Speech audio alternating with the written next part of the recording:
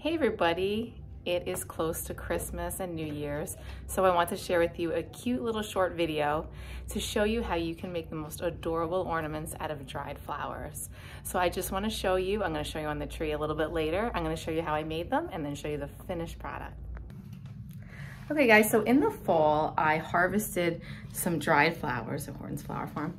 Um, some dried flowers from the farm, straw flowers, and I actually bought um, baby's breath, dried baby's breath, so that I would have extra. I didn't know I was gonna make these ornaments, but I harvested a lot of stuff.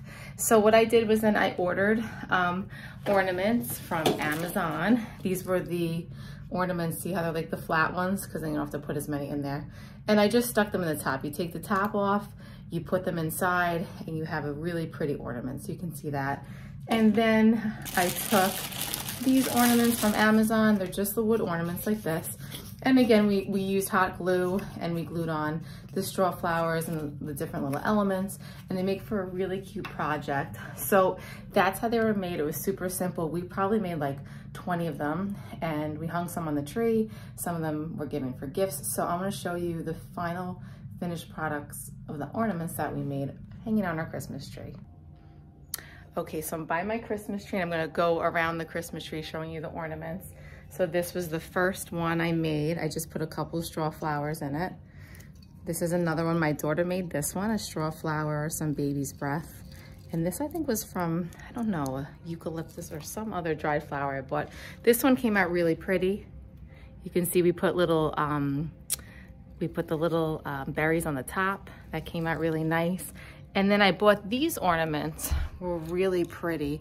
Um, they're burlap stockings and you actually can put things inside of them. So I put, these are dried flowers. They're wood, I'm sorry, these are wood flowers from Sola Flowers.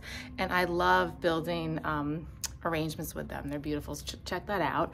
The, this is the baby's breath, the little berries. This was from another dried, these are another dried flower and look at these pretty like berries on there. So I hot glued it on, isn't that cute? Uh, another one over here. There were a lot. We were making them and I was like, I just want to keep them all. This one is really pretty and look at how pretty this one is.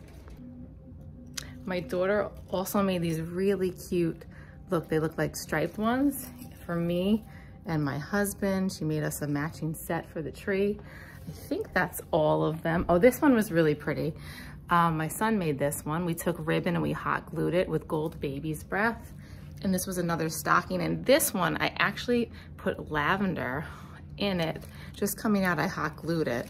So that one is really pretty. Okay, I think that's all of them. And then we wrapped up a bunch to give to all our family members. So this is the Christmas tree.